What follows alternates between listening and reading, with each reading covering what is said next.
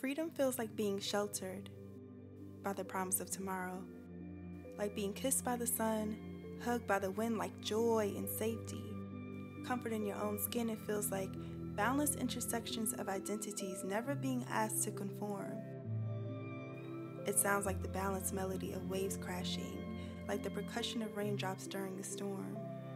It looks like the tangle of an untamed curl, like jogging without looking over your shoulder. It exists in the dreams of little black girls. It's nestled under expanded wings. It feels like being worthy, like your life matters. It feels like being pushed on a swing. It's so close.